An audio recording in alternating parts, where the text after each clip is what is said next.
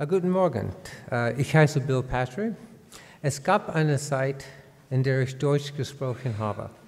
Aber leider habe ich ganze Menge vergessen. Jetzt bin ich die andere meisten Amerikaner. Aber zumindest bin ich aus Kalifornien. Also bitte ich um Erlaubnis, meinen Vortrag auf Englisch zu halten. Although I have been to many places in Germany before, uh, this is my first time in Berlin. Berlin is a place that we in the United States are fascinated with. Yes, it's one of the great capitals of the world. It's a place of deep historical importance for everyone. Yet there's this crazy amount of avant garde creativity. And this combination of history and creativity uh, shouldn't be surprising. Yes, if a culture is not creative, then it will die and it will have a short history. It might even be forgotten. And for all societies, being forgotten is probably the worst fate. A culture can't be creative if it's cut off from its past.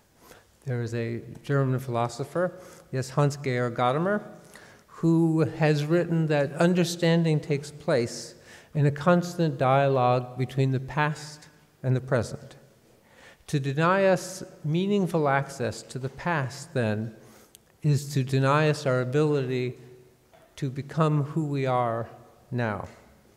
So the celebrations last Sunday um, at the Berliner Mauer uh, certainly make this point far better than any speech could, just by being there.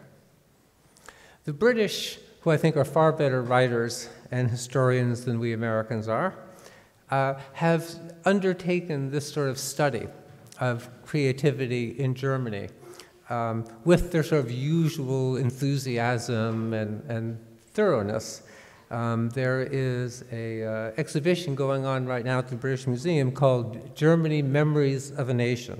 Yes? And the museum director, Mr. MacGregor, has a 30 part series right, on 600 years of German creativity. Right? It's, it's, an amazing uh, series. So, of, uh, well, I'll do the first one. Of the many works in the exhibition, I want to show you my favorite.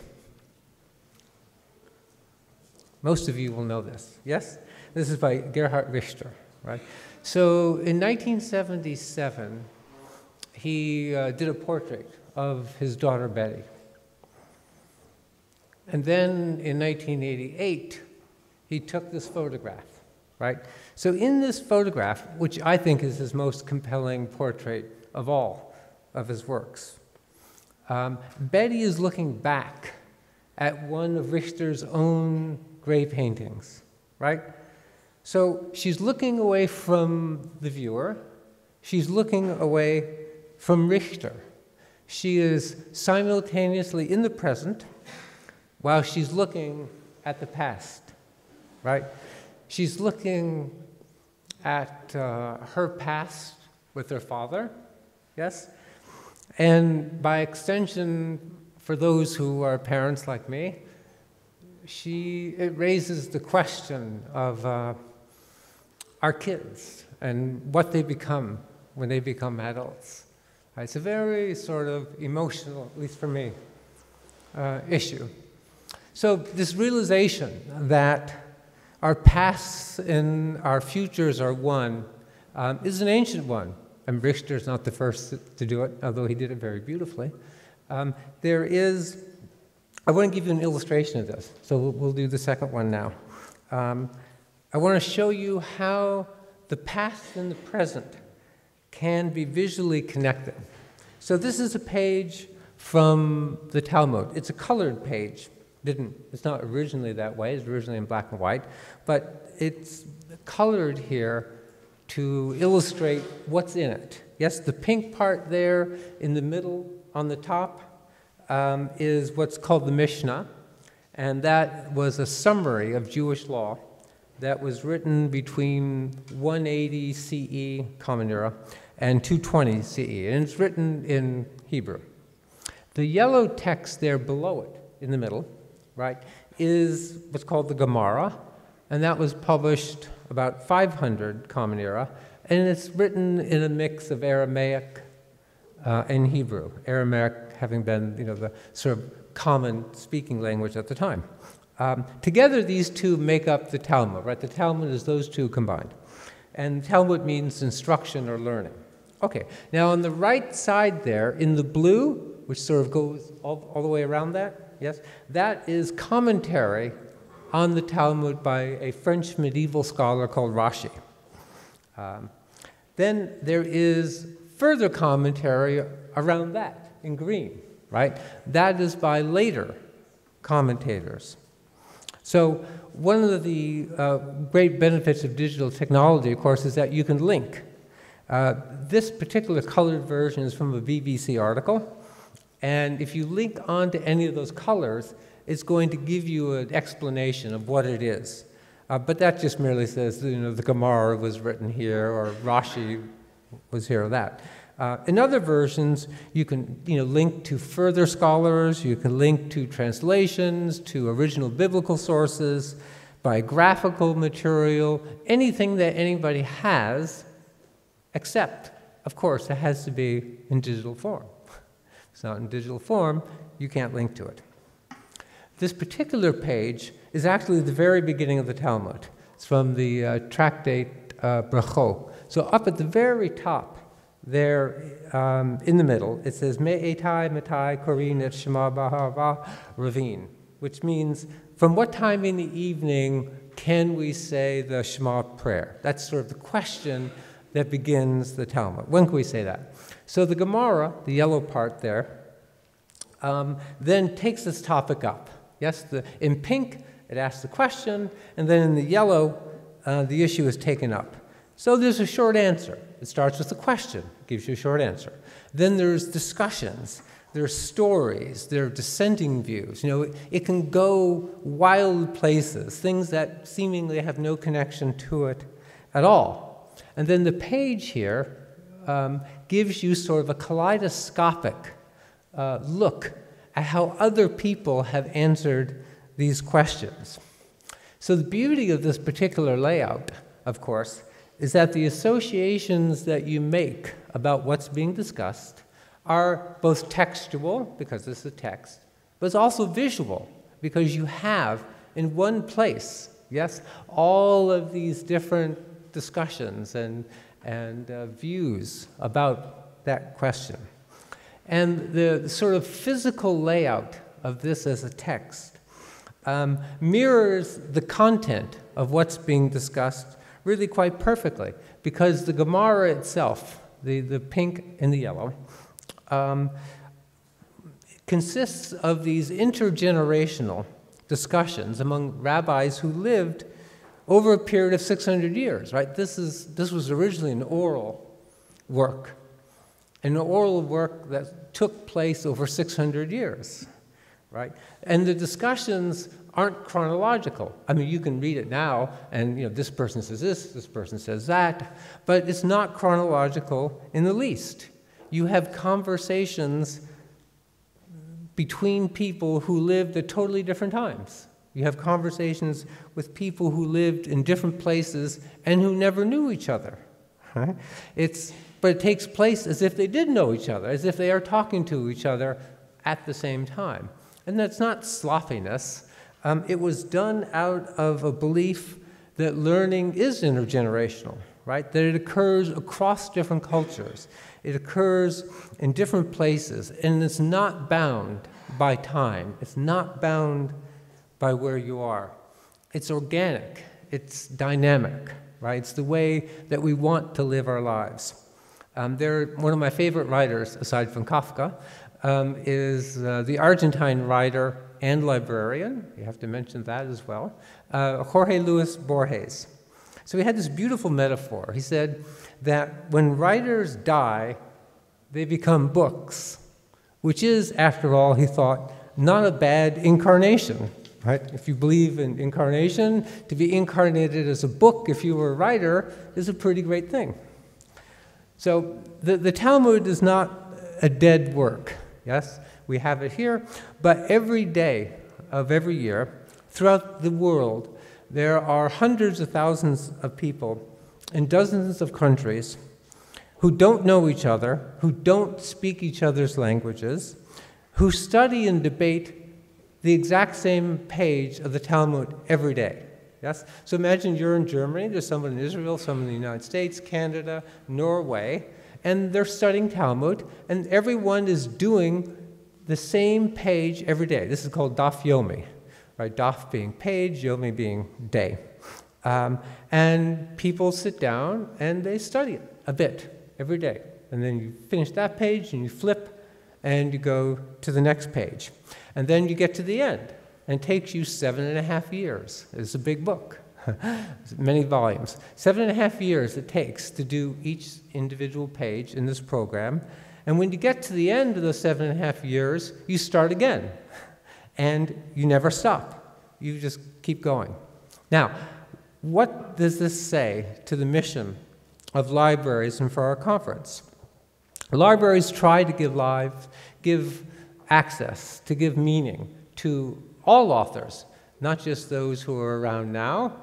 Um, Mr. Yosef, you know, had uh, the results from 1500s, from the 1800s, from the 1700s, and the goal of his library and all libraries is to give access to all authors, not just those who are around now.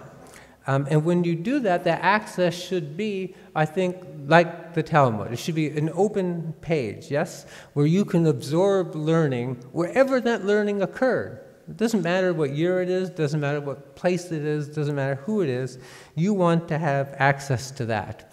And that's a critical thing. I, I had the opinion before that the worst thing is for a society to be forgotten. So the Talmud, which was an oral work, it was intended to be oral. Uh, there was a belief that if it was oral, it could continue to organically grow. Yes? And so that was the original structure. But there was a realization that um, Jews would be dispersed from the land of Israel, uh, had been dispersed once already, and that that dispersal would be for centuries, if not forever. So, contrary to the original uh, intent of the Talmud, it was what you'd call redacted. It was written down. And it was written down, though, so that the learning would never be forgotten, so that you would exist as a society.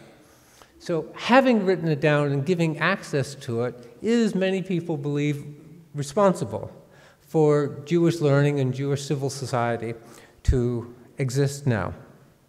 So outside of this example here of the, of, uh, the Talmud, um, how do you combine a living past to a living present?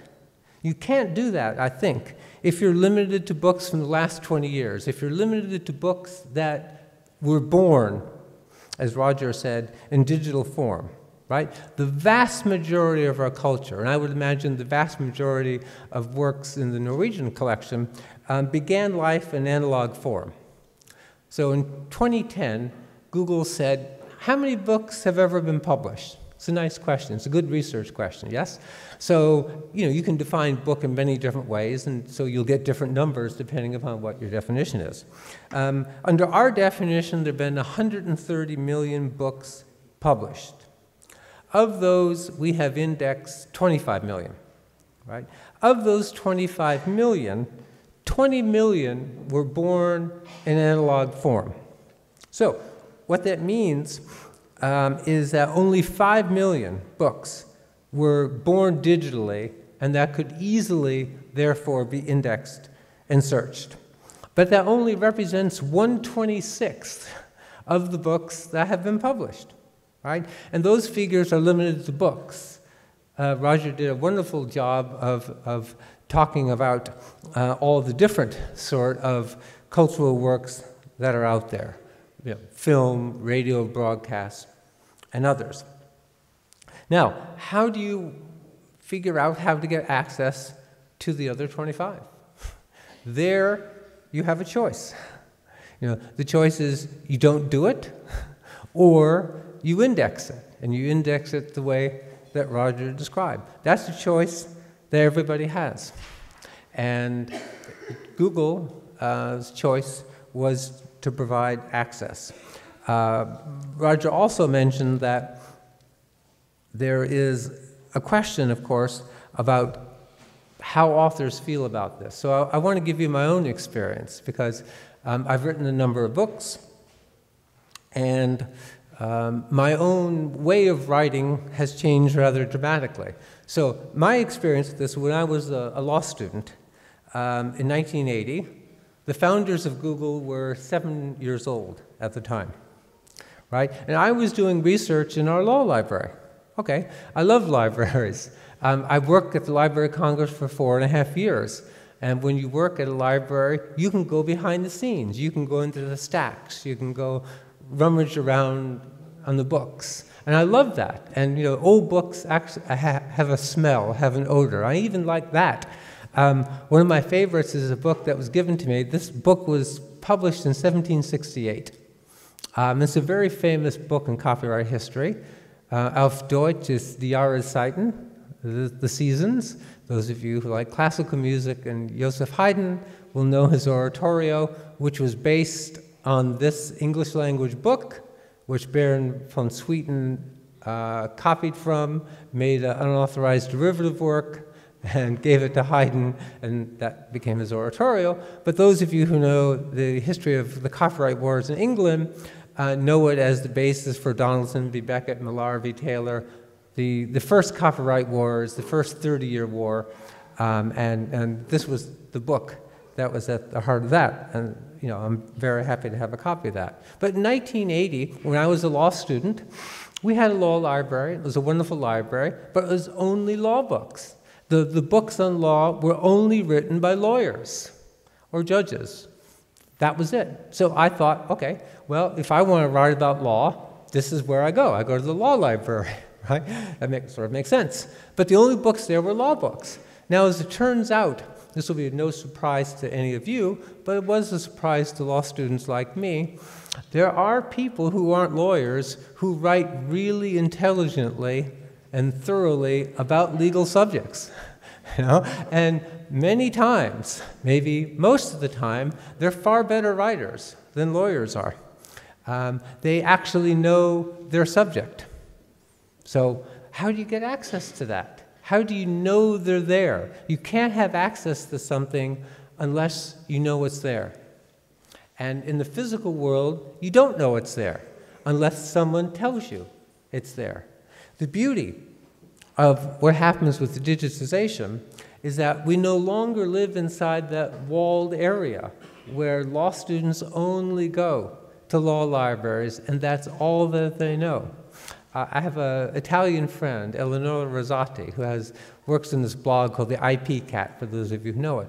Her mother grew up in a small Tuscan village. She was an avid reader as a girl, but there are no libraries in her area. There were no bookstores in her area. And she was a small girl, so she was limited to a traveling library that came on wheels once a month. That was it. that was her access to knowledge. We don't have to live that way anymore. You know? We can live with access to far greater knowledge. We have to learn from our ability to get outside of those walls. Now, uh, I'll, I'll, give you one more uh, sort of anecdote about what this means for authors. Too often, the debates uh, about digitization are between authors on one side, or publishers, and a consuming public on the other. And it's a, it's a, it's a polarized debate. Yes, it's them versus us, which is you know, really a helpful one. So, uh, my first book was written in 1985, and it was on fair use topic. There was no World Wide Web in 1985. My book was in analog form. Um, one day, a number of years later, somebody asked me for a copy of it. I didn't have one. I called up the publisher and asked for a copy, and they said, We, well, they used the word pulp destroyed. yes, they destroyed them. I said, well, why did you do that? you know, why didn't, you know, I would have taken the coffees, you know, maybe I would have tried to uh, give them away to friends and family or whatever, but I at least would have liked them. And they said, well, it went out of print. and when it goes out of print, we just destroy them. Now, under my contract with the publisher, when the book went out of print, the rights came back to me. So I then was the copyright owner of it. There may not have been many physical copies, but I owned the rights in the intangible one. A few years later, before I worked for Google, I discovered that the publisher had sent the book to Google to be indexed. They didn't own the rights. I own the rights. I mean, how ironic is it? Yes, that, that uh, a book about fair use is given by a publisher who no longer owns the rights to, you know, a for-profit company to, to be indexed. Um, so I, I, have to admit, I was surprised by that. you know, having destroyed most of the copies, you know, they then you know keep one copy and send it and give it off to Google. Um, but after I was not surprised anymore, I thought it was a good thing, right? More people would have had access to my book than before, and people would have been able to engage in uh, scanning, you know, in, in uh, full text of the search. Um, when I wrote my books, after the Google Book Project came along, I had access to all of those people who wrote in other disciplines who wrote in you know, the psychology of creativity, the economics of creativity. Um, and my book, hopefully, was a much better book for that. So, in my view, my experience as an author is beneficial. We have um, far more access to more works, we can have better, better access. So I want to close here because the, the, the time is up, but yeah, I was asked about what's the status of the litigation yes, of the Google project. What's, what's going on with that? Um, so here's, here's the status of it. Google was of the opinion that under US law, indexing of books to provide full text searching um, and the display of snippets of text in response to a search inquiry was fair use. Um, at the time those suits were brought, all the focus was on the scanning that was necessary for the indexing. Nobody complained, ever, about the display of snippets. Why? Because from the 1700s on, in England and then the United States, the display of quotations and short you know, segments of things has always been fair use. I mean, regardless of what you think about the project as a whole, the display of snippets has always been fair use under US law, right? Google was not breaking any new ground on that issue in the least. So the question was rather um, taking books to allow the indexing full text that Roger explained is actually necessary. Um, I think in this context of is that sort of indexing permissible under US law, certainly have no opinion under foreign laws, um, it should be clear that all search engines copy the entire web every day. In fact, more than one time a day. Yes? Whether it's Google, Bing, Yandex, Baidu, the way every single search engine in the world works is by going and copying everything. And you copy everything because you don't know what people want. As with the library, you want to be complete. You know, you don't want to have just a tiny bit. So that's the way all search engines work. They have to. And you either want search engines or you don't. And if you do want search engines, then you have to permit it, whether it's an implied license, whether it's copyright fair use. Doesn't matter what you label it. The issue is whether you want to have a search engine, and if you do, then you have to permit it. So we actually have been successful on the original litigation. Uh, there's a final appeal that's being argued on December 3rd, but we've been successful, although it took us nine years and many, many, many, many millions of dollars to get there. There was a settlement agreement, of course, which would have done other things, other things for authors. Um, that settlement agreement was successfully opposed, including by the German government. Um, but none of the opponents of the settlement agreement had a plan B. You know, I'm not saying anyone should have liked the settlement agreement. You, may or you may not. You may have other ideas. But the lack of a plan B, the lack of someone else's alternative for it, killed that part of it. So all we're fighting about now is simply whether the original indexing for snippets was fair use. And we're, yeah, you know, I think we'll prevail on that. But if we prevail, you know, what happened? you know, we didn't provide any more access. We didn't give a single euro to any author, right? The settlement agreement would have done that. Um, so, you know, winning is a vindication of sorts, but litigation is not a business model for anybody. And I think we can and should do better from that. Right? Our laws have to match the reality of how the internet works, of how we learn, and how we want our libraries and museums to learn. And those laws have to be changed, I think, without regard to what they were in the past or what they are now. Because if we don't, then we're going to strangle the future. Yes? Why have laws that simply really don't match that? Um, and that's, that's really hard. It's certainly a difficult thing. But uh, last Sunday, Chancellor Merkel came and spoke at the 25th anniversary of the fall of the wall. And I'll just conclude with a, a quote from her. Träume können verwarten. Nichts muss so bleiben, wie es ist. Vielen Dank.